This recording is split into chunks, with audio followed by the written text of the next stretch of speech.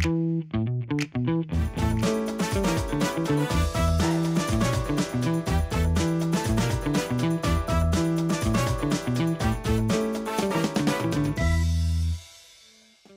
sveicināti skatītāji! Šodien sākas astronomiskā ziema, un tas nozīmē, ka klāt ir ziemas salgrieži.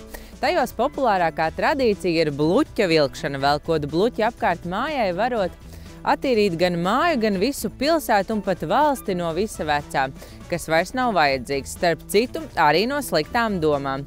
Ja nu arī jūs esat latvisko paražu piekritēji, tad dodieties ārā, bet vēl ne tagad. Vispirms noskatieties raidījumu veiksmes formulu, bet pēc tam gan iekuriniet ugunskuru un tajā sadedziniet visu veco, lai godam sagatavotos visam jaunajam.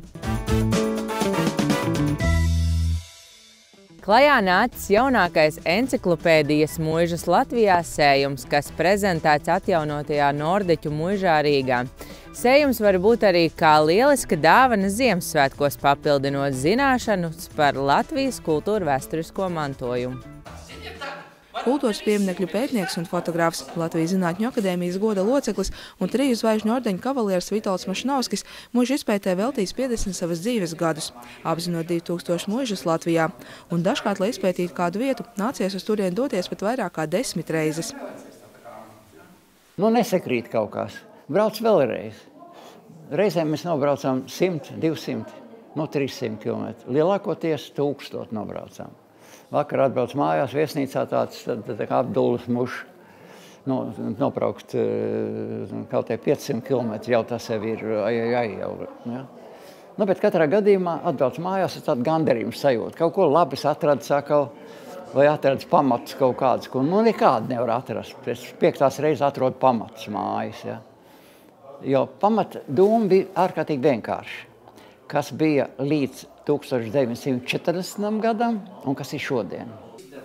Pētnieks norāda, ir pagājuši simts gadi, kopš sākusies pakāpeniska mūžu bojāja Latvijā, kas saistīta ar 1902. gadu, kad mūžu zeme tika atsavināta un sadalīta. Jo tajā 20. gadā, kad tam zemniekam iedeva mūžu, nu visu cieņu, viņš bija cīnījies, viņam par to iedeva mūžu centru, ja? pāriem varēja kaut kur purvā iedot. Bet viņam iedeva šo te Protams, viņam vajadzība bija kā sunim galošs. Tās 300, 400 kvadrātmetrus. Ko viņš darīs? Piemēram, vienu mūžu mēs skatījāmies vēl tagad cūka aizgaldi. Tos vēl tagad plēš nost. Cik gadi pēc kara pagājuši, cik pēc 20. gada.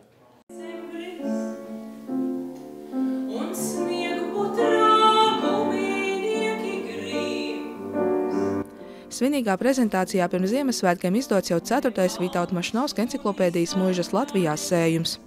Vitolda Mašnovska mūžu sējumu 4. grāmata ir patiesībā sakot tāds kapitāla ieguldījums Latvijas kultūras mantojuma pētniecībā, par ko mūs apskauž gan brāļi Igauni, gan brāļi Lietuvieši, jo viņiem tāda līdzvērtīga izdevuma nav. Un kas ir neparasti, protams, ka Latvijas kultūras mantojuma pētnieku entuziastu un teikt, profesionāļu vidū Vitolds Mašnovskis ir tāds izņēmums, kurš savu fanātisko ticību, enerģiju, darbību, savus privātos līdzekļus un laiku investē paliekošu vērtību radīšanai. Un tas, ko mūsu Latvijas Zinātņu akadēmijas godu loceklis, par ko mēs ļoti lepojamies, Vitolds Mašnovskis dara, viņš iemūžina to, kas vēl ir saglabājies, noskaidro to, kā tas viss ir cēlies, noskaidro, kā uh, ir um, attīstījusies tā vai cita mūža, bet mūža jau nav tikai mūža.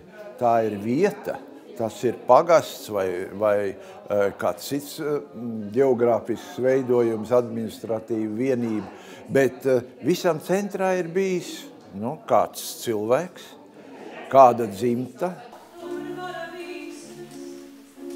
Kā norāda Vitāls Mašnovskis, Latvijā apmēram 4% kādreizējo mūžu ir jauno īpašnieku sakārtots un atjaunots. Tāda arī Nordeķu mūža Rīgā, kur notika enciklopēdijas atklāšanas svētki. Nordeķa muižiņa šeit pārdaugavā ir neparasta. Pirmkārt ar to, ka viņi jau ir, teikt, eh, kopš 18. gadsimta šeit saistīta ar eh, visdažādākajiem Rīgas saimniekiem un īpašniekiem, kas ir mainījušies. Jau 16. gadsimtā te ir bijusi neliela muižiņa, kuras, saka, galvenā vērtība bija ražot graudus un lopkopības un lauksaimniecības produkciju Rīgai.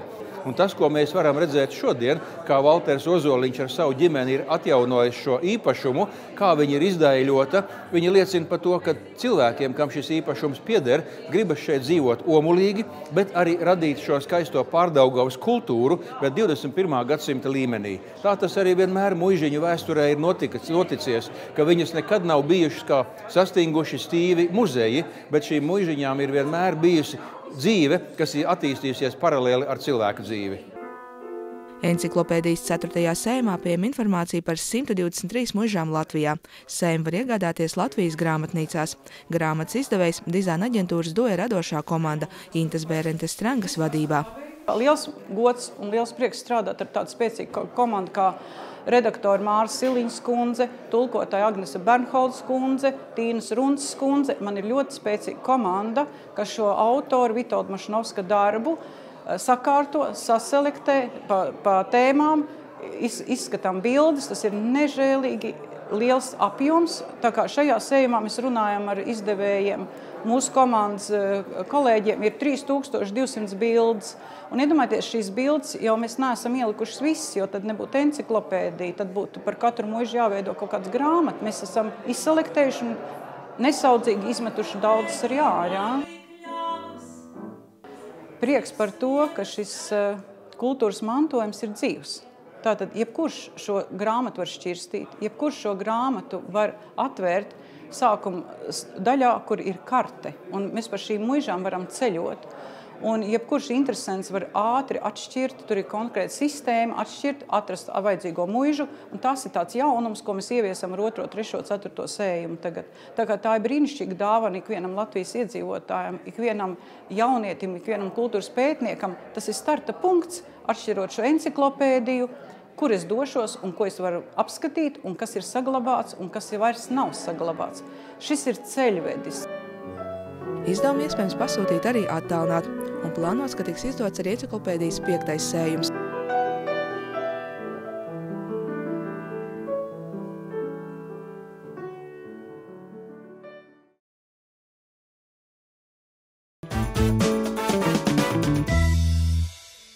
Turpinot aizvadītajā raidījumā aizsākto ciklu par pieredzes stāstiem, kāpēc ir svarīgi vakcinēties pret covid-19, šoreiz tiekamies ar Ogres teātra režisoru Jāni Kaieku, kas jau saņēmis arī trešo tā saucamo balsta vakcīnu.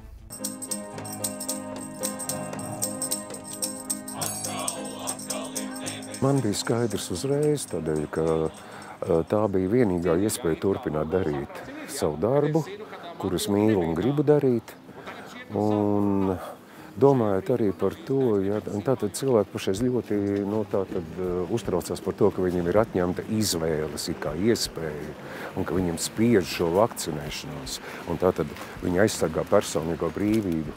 Bet es kā režisors domāju par šo personīgā brīvības tēmu, tā ir mums ļoti svēta, nepieciešama un vajadzīga bet šī brīvība uh, sāk kļūt jau par kaut ko citu tajā brīdī, kad viņa aizskar citu cilvēku intereses.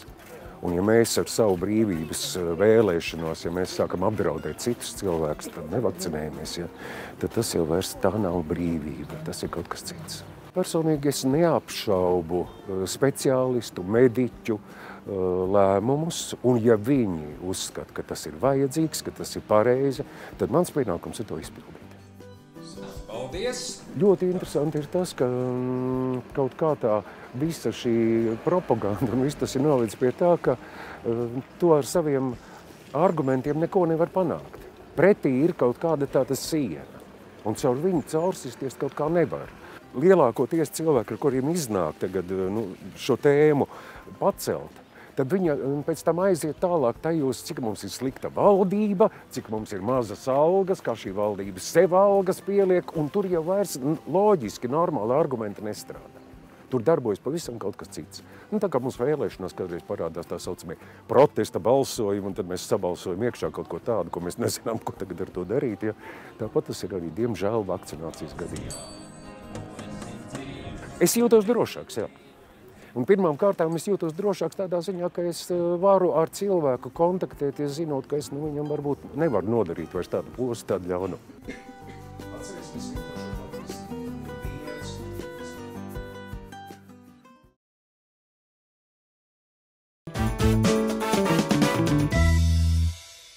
Pēc reklāmas pauzes dosimies pie jauniešiem, kuriem Covid laiks ir licis domāt radošāk un realizēt projektus, kā arī būs stāsts par to, ka Stopiņu pagasts sociālais dienests ticis pie izremontētām telpām, bet noslēgumā par to, kā pavadīt brīvo laiku ar draugiem un ģimeni Balmieras novadā.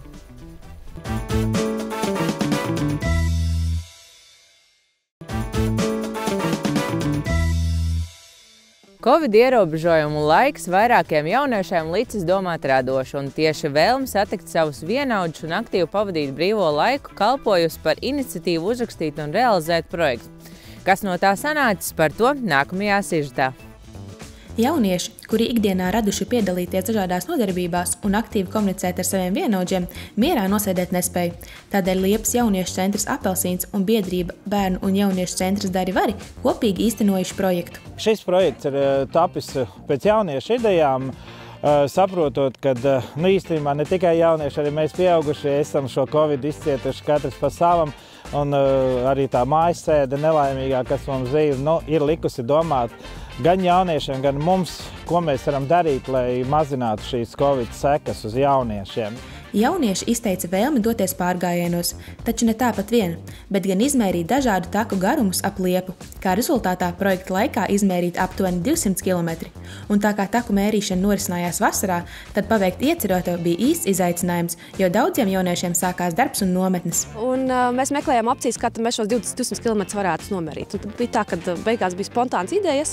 Jaunieši šodien foršs vakars. Tie, kas ir, kas ir gatavi, ejam pastaigāties. Paskatījāmies Google maps, kurā vietā mēs varētu iziet kādu aplīti, un tad mēs gājām dažādas apņus. Doma tāda, ka bija savākt šos kilometrus, savākt trases dažāda garuma, un pēc tam jā, izgatavot mājaslapu kopā ar maniem kolēģiem un nodot viņu tālāk lietošanai gan Liepas skolai, gan vietējiem iedzīvotājiem. Taču jau no sākuma jauniešiem bija lielāks mērķis. Tā ideja arī sākumā bija tāda, ka tas nav tikai takas, Mums ir ļoti daudz šobrīd mazās taciņas, un tad ir piecas lielās takas. Un katrai lielai takai mums klāt nāk arī spēļu elementi. Tātad projekta laikā izmērīti nevien 200 km, bet vairākām takām izveidot spēļu elementi. Un viena no digitālajām spēlēm, kas pieejama jau šobrīd, ir vēlniņa. Tā pa spēkam būs ikvienam, kuram ir telefons ar interneta un GPS pieslēgumu, kā arī vēlme pievērēt aptuveni 3 km garu distanci. Spēle izstrādāta ar nosaukumu Vēlniņu, pieskaņojot Liepai un Elītei.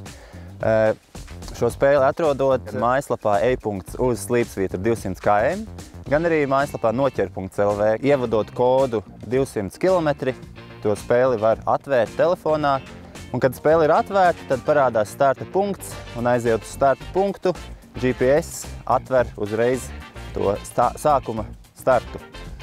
Un e, tad no tā vadoties, tad arī cilvēks saprot, kas un kā tālāk notiksies. Tas spēles būtība, jā, kad starts ir apmeklēts, tad e, kartē parādās vairāki punkti, kas ir jāapmeklē.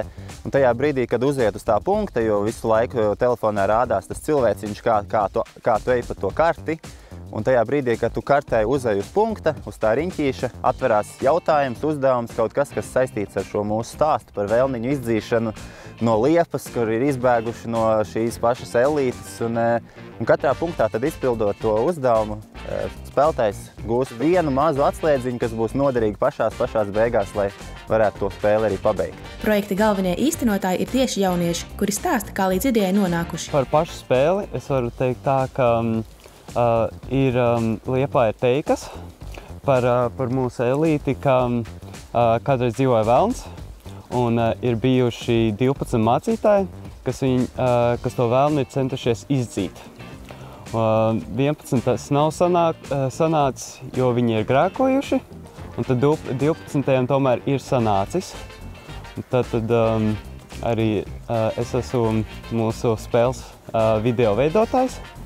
Un tā arī tā arī mums radās tā ideja, ka mēs, mēs uztaisīsim to pēdējo mācītāju. Pēdējo mācītāju, kuram ir sanācis to vēlnu izdzīt. Mēs jau kādu brītiņu esam strādājuši pie vis, vis kaut kādiem interesantiem video. Arī mēs, mēs iesaistam gan lielos, gan mazos jauniešus šitajos video, un viss vis idejas, protams, rodās tikai, tikai no mums. Paši, paši veidojam, paši rakstam scenāriju un, un izmantojam to brīvo laiku liederīgi priekš, priekš mūsu jauniešu centra bet, lai izveidotu spēles, jauniešiem nācās ievākt informāciju un nodarboties ar nelielu pētniecisko darbu. Šajā laikā mums notika arī dažādas nodarbības, kur jaunieši izzināja gan vietējo apkārtni, jā, starp citu sadarbojās ar, ar muzeju, sadarbojās ar vietējiem speciālistiem, dažādiem skolotājiem. Šeit mums bija, mums bija no Liepas kultūras nama maza, maza sadarbība. Vāca dažādus interesantus faktus par apkārtni, piemēram, par Latviju klintīm, tepat par Elīti, par Kalāču muzeju, par Veidembaumu. Nu, tieši tas, kas jauniešiem vairāk interesē. Projekts pierāda, ka ir jaunieši, kuri ir aktīvi, radoši un spējīgi savas idejas realizēt. Mums ir jāpriecājas, ka mums ir iespējas, kur rakstīt šos projektus. Jā, ir tas pats Erasmus. Ir valsts, jau, valsts jaunatnes programma, kur šis projekts notiek caur valsts jaunatnes programmu 21, 23. Jā, un īstenībā labi, ka šādi projekti ir. Projekta ietveros izzinātās takas un izveidotās spēles ir pieejamas ikvienam interesantam un būs aktīvs visu nākamo gadu. Vairāk par tām iespējams uzzināt mājaslapā e-uz slīpsvītra 200 km.lv.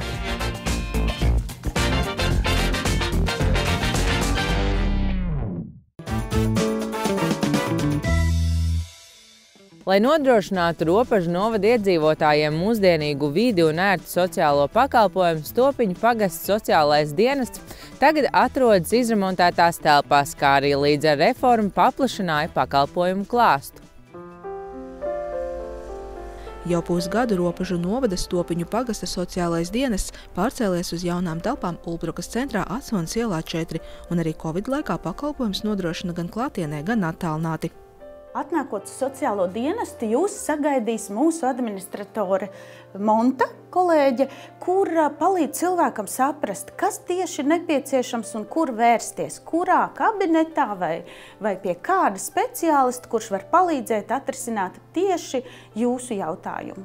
Mēs mēģinām darbu organizēt tā, lai cilvēks pēc iespējas pats var saņemt arī savu nepieciešamo palīdzību. Jo ienākot dienestā ir pieejams gan veidlaps, kuru aizpildīt, ja es jau zinu, kādu man vajag palīdzību, vai eh, arī veidlapas par eh, kaut kādām atskaitēm, kuras nepieciešams par sociālo pakalpojumu. Cilvēks var ienākt, pats paņemt, apskatīties un doties eh, savos darbos tālāk. Sociālais dienas palīdzību un pakalpojumus sniedz senioriem, daudzbērnu ģimenēm, kā arī maznodrošinātām vai trūcīgām mājsaimniecībām. Ģimenes turpina saņemt sociālo palīdzību katra savā pagasta teritorijā un arī visā novadā kopā. Šobrīd no 2022. gada ir eh, spēkā saistošie noteikumi par sociālo palīdzību visā novadā vienoti. Un katrs mūsu novada iedzīvotājs var vērsties sociālā dienestā un saņemt vienā, vienotu sociālo palīdzību un pakalpojumus. Vienlīdzība mums ir primāra.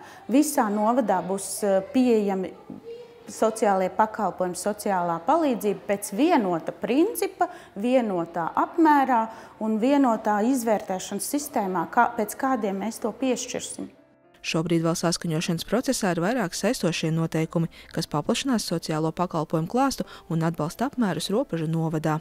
Plašāki veidi būs tieši senioriem, daudz bērnu ģimenēm, un e, trūcīgām maznodrošinātām personām. Šobrīd arī strādājam pie tā, lai sniegtu plašāku palīdzību, vairāk atbalstu senioriem saistībā ar mājokļu pabalstu. Piemērojam koeficientus, e, lai varētu piešķirt šo, šo palīdzības veidu, ko bez koeficienta mēs nevaram piešķirt tikai pēc valsts noteiktās formulas. Šī, šāds palīdzības veids ir sasniedzams ļoti šauram sabiedrības lokam.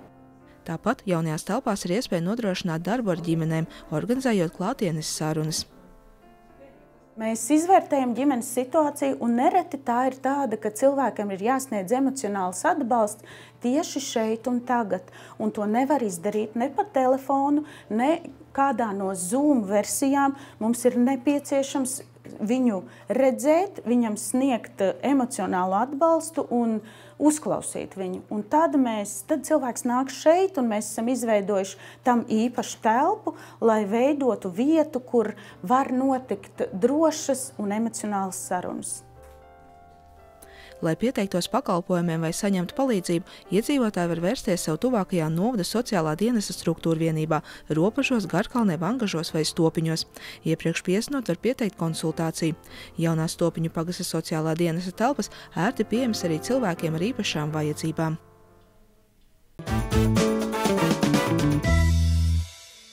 Laiks uz brīdi atvilkt elpu un nedomāt par mācībām vai nepagūtajiem darbiem un baudīt ziemas brīvlaiku.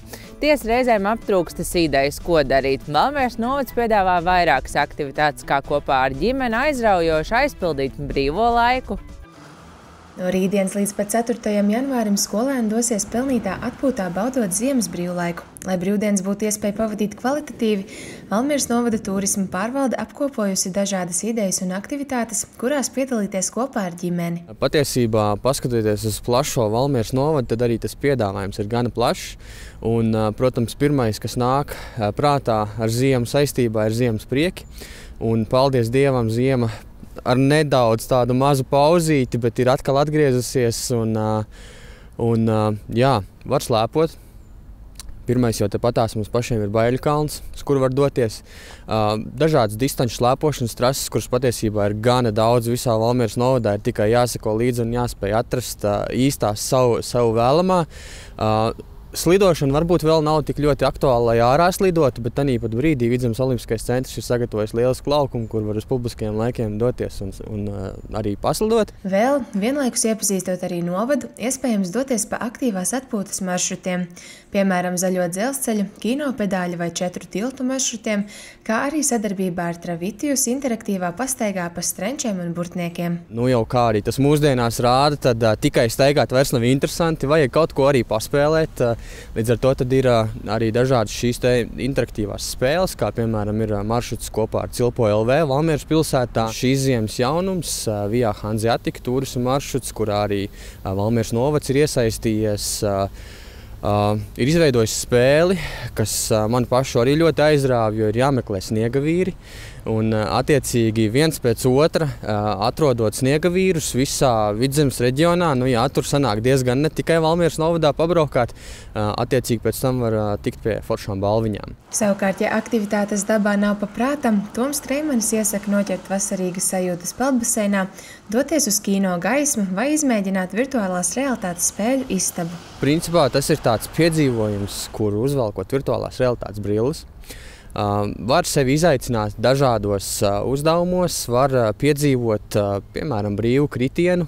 Kaut gan it kā tu nemaz nekrīti, bet sajusties, ka tu krīti. Visbiežāk tādas aktivitātes patīk bērniem, bet pēc manas pieredzes, tad, kad arī pieaugušais kaut ko tādu pamēģina, tad ir pēc tam sajūsmas pilnas piedzieni un, un piedzīvojums visai dienai. Skolēni un viņu ģimenes aicināti ielūkoties arī vēstures lapusēs, apmeklējot Valmieras novada muzejus Naukšēnos, Maslacā un Valmierā mierā. Ikvienam ir interesanti iepazīt un, un saprast to, ka mūsu novads ir tepat kaut kur no Kocāna, no Valmieras puses un sniedzās līdz pat Igaunijas robežai. Tad šis ir tas laiks, kad tiešām to var darīt un caur šādu aktivitāšu iespējām arī to izzināt. Mēs pasaules līmenī bieži vien ikdienā pavadām mājās, strādājot no mājām, darbojoties no mājām. Un, Un tāpēc, manuprāt, ir svarīgi izkustēties. Un, jā, protams, to var darīt ne tikai šajā brīvlaikā, bet tas ir vienmēr vajadzīgs brīvdienās izstaigāties vai darba dienu vakaros izstaigāties. Bet ņemot vērā, ka patiešām visbiežāk šobrīd šajos laikos mēs atrodamies mājās, tad šādas aktivitātes ir tiešām lieliski iespēja, lai kopā ar ģimeni nevis nosēdētu mājās pie televizora, bet izstaigātos un baudītu baudītu dabu. Turisma pārvaldes vadītājs piebilst, šis ir tikai dažas no aktivitātēm, kurām veltīt sev brīvo laiku, un tās būs pieejamas arī pēc 4. janvāra. Es ar jums, skatītāji, tikšos jau atkal nākamajā nedēļā. Lai jums balti un skaisti svētki! Visu labu!